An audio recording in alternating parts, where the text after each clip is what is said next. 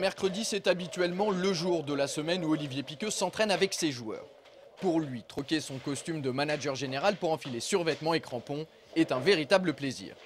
Mais aujourd'hui, Olivier Piqueux a fait une petite exception. Il nous a accordé de son temps pour faire le point sur la situation de son équipe à 12 journées de la fin du championnat. Après un début d'exercice poussif, quels sont les objectifs et les ambitions du club d'ici au 15 mai prochain? Le SCO peut-il jouer les troubles faites dans ce championnat? Comment les dirigeants préparent-ils la saison à venir Entretien.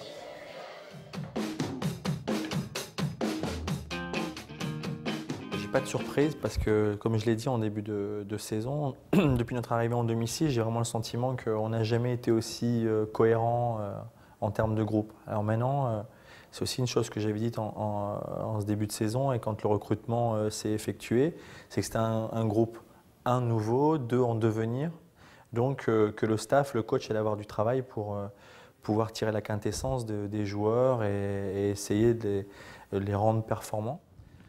Euh, mais voilà, aujourd'hui, nous retrouver là, c'est tout sauf une surprise.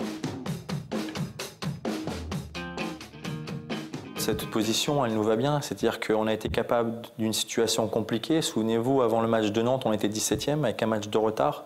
Tout le monde prédisait une saison difficile pour, euh, pour le SCO et on est resté vraiment d'une solidarité exemplaire. Je crois que le président n'a jamais euh, euh, mis de doute sur le travail qui avait été effectué et j'ai continué à, vanter le travail de, de notre staff. donc voilà, on a envie de jouer les troubles faites, bien entendu. Je crois que ce groupe est tellement déterminé, à une telle ambition, que ça peut nous, nous, donner plein de belles choses. Alors voilà, où est-ce que ça va nous mener? Je ne sais pas, mais euh, pourquoi pas une fin à la boulonnaise? Ça serait magnifique. Avec un match de Nantes, euh, si on devait extrapoler un match de Nantes la dernière journée de championnat, euh, en imaginant qu'on puisse à ce moment-là jouer, jouer une place sur le podium. Alors ça, c'est quelque chose de rêvé. Mais avant tout ça, j'ai vraiment envie de leur, leur souhaiter de continuer à prendre du plaisir, travailler, emmagasiner de l'expérience. On prépare quoi qu'il arrive l'avenir.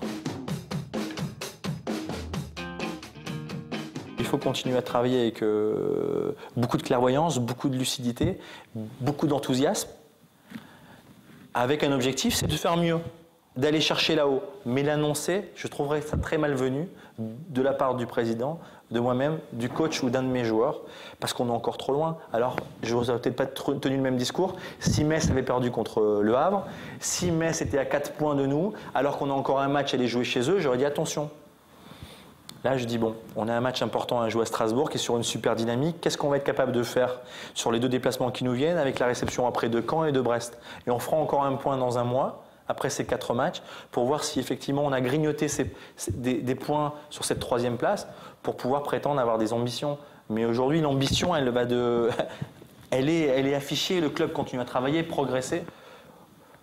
On est déterminé pour faire mieux, mais euh, sans langue de bois, c'est de dire allez en avant, en avant pour faire mieux. Mais, euh, mais attention, il y a des équipes qui sont bien devant nous. L'année prochaine, ça sera encore une autre, une autre paire de manches. On, commence déjà à y penser, forcément avec le coach. Euh, voilà, mais je ne le prends pas comme, comme euh, quelque chose de, compliqué. Je pense plus que c'est euh, voilà, l'eau de notre travail. Et on doit en être fier, pas, pas prendre ça comme, comme, comme quelque chose de, de compliqué et de difficile.